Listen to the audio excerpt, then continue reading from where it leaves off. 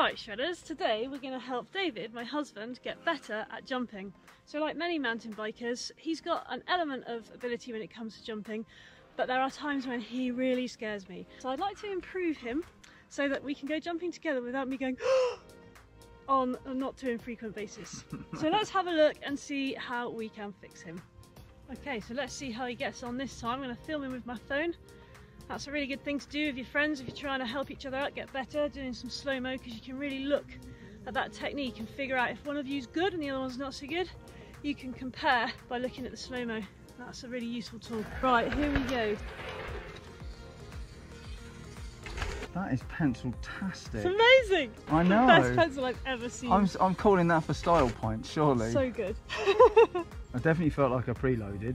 Yeah, you did. And then you spring up, that's really nice but then you just appear to think, right, I better make sure that I've really kept my yeah. legs straight.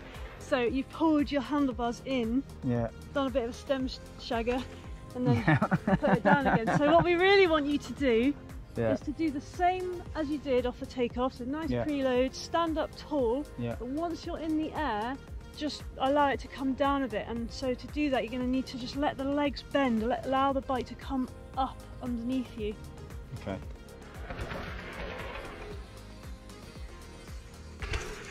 So you've kind of gone back to not fully straightening your legs. As in I didn't, then watch it again, as in I didn't stand up enough.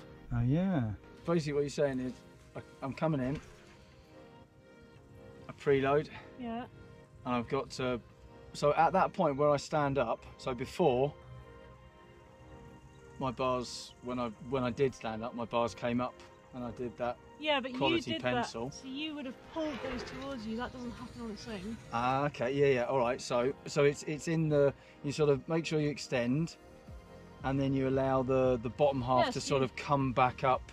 Yeah, but you to don't... you, sort of level, level it out, spot your yeah. landing. Yeah.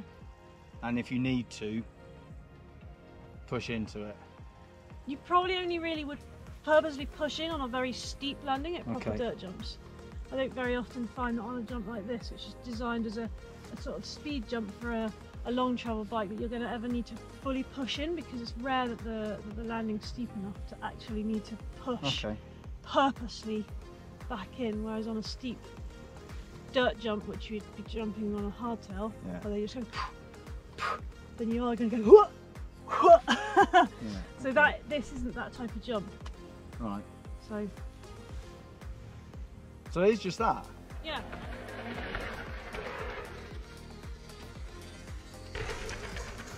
So on this one you had a, I had yeah, I saw a really nice preload and then you went up and then you did you did the pencil but then you pushed it back. Yeah, which it was, actually, it was a quick in a, one. In a way kind of works because it means you're in charge of the bike. So sometimes when you've got a lot of air time, it helps to to do something in the air. When you just do a straight air and you've got quite a lot of air time, it's like, oh.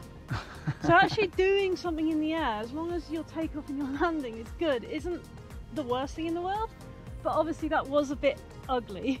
So we want some nice... Oh, hang on, well, hang on. Let's just wind that back a little bit. Are we saying that was improvement? Because I had a nice takeoff and I had a nice landing, just a bit in between was a bit... Yeah, I think so.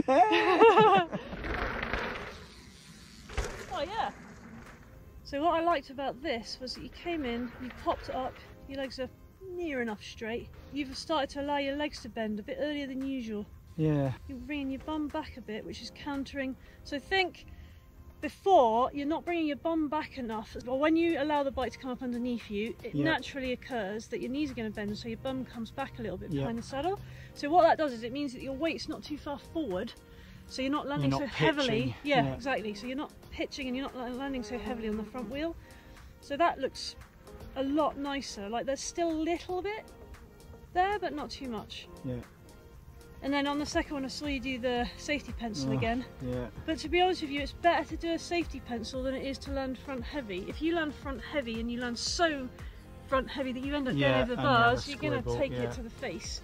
So it's much better if you're going to kind of have a weird technique on one or the other, the safety pencil is probably the better option. I literally seem to have developed that today. It's better for my stress levels. That's good. But maybe when there's lots of air, maybe it would be helpful just to try and just do a little tweak or something because then instead of having all that time in the air to be like, oh, I'm in the air, oh, because you know when it's a, quite an alien concept, it can be quite hard to not let the bike take over. Yeah. So if you're in charge, and this kind of applies to every area of mountain biking, if you're in charge of where the bike's going and where you want it to go, generally speaking things go much better for you. So why not try, if you feel comfortable, doing the jump and just just trying to do a little turn bar or that's the easiest thing to do. And it's only the tiniest little tweak, but it could make the difference. Right.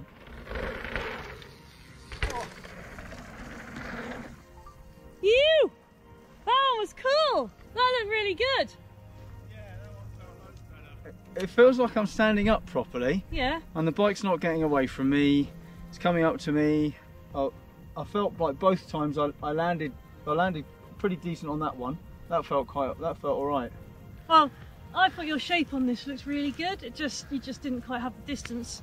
Yeah. Um, but yeah, no, it looked way better than than all the other jumps. It just looked like a more so the arc on the first jump we saw was really like this with that Yeah, front wheel heavy, and that was just a little bit less of a peak, and it just looked a lot more in control. And then I just got a glimpse of that out the corner of my eye, and on that it looked really cool. It looked like there was a little bit of style in there. Yeah. Yeah, it's looking good.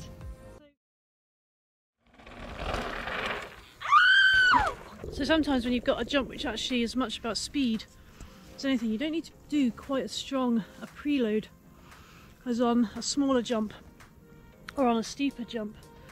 And I had noticed that in one of the earlier attempts that there was a lot of preload.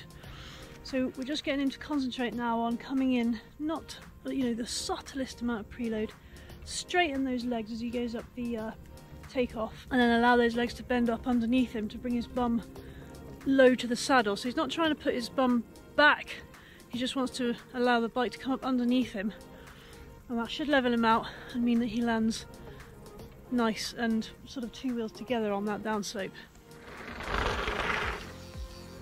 Oh yeah.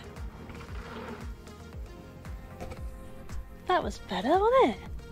That was a much better shape, wasn't it? Yeah, that Vastly was improved. a lot better. You feeling uh feeling good? Yeah, totally. Yeah, So- that was cool. Yeah, I mean, yeah. So just basically, the ma- I mean, the main thing for me is the whole actually standing up fully on the takeoff, or even just just coming in, nice and relaxed, and yeah, and just and, and just making sure. I mean, not not literally but just making sure I'm upright at that point, isn't it? Yeah. and it did feel a lot more felt way more in control M- more so the fact that you know you're in control because you got time to spot the landing and you put the bike down level Yeah. both wheels hit the ground and you're like you ride away and you're like oh what was all the fuss about That's cool that you can tell the difference and take away the principles and apply them to other types of jump now, I think. And hopefully give me less of the fear when you pitch in and land on the front wheel. Hopefully that's not going to happen anymore. absolutely that'd be nice wouldn't it that Yeah. would be nice So there we go. Hopefully David's going to feel a bit more confident on the jumps going forward. I'm going to feel a little bit less scared and hopefully you have seen some of the sort of little problems that can arise with jumping and how you might fix them and the sort of things you might look at. If you want to see more like this one, do leave me a comment below, perhaps on a different subject. Give me some ideas. I'm here to help you guys get better at riding bikes.